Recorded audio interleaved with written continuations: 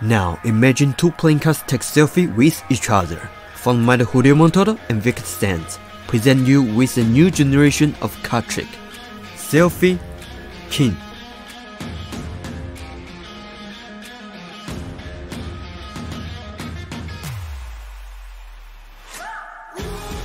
You show the King of Diamonds and Queen of Clubs. Suddenly, King holds the phone and move up, taking a selfie with the Queen. Look at this. You just have to make this, and they take a selfie. And King shows his selfie to everyone and sends it to Magician. Surprisingly, the screen of King's phone shows standing.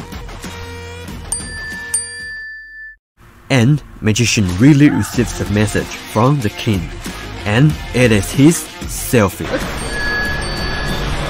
You have received something on the phone. As you can see, we can open it.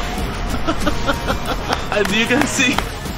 This is a creative and funny pocket trick. It fits in your wallet and always ready to go.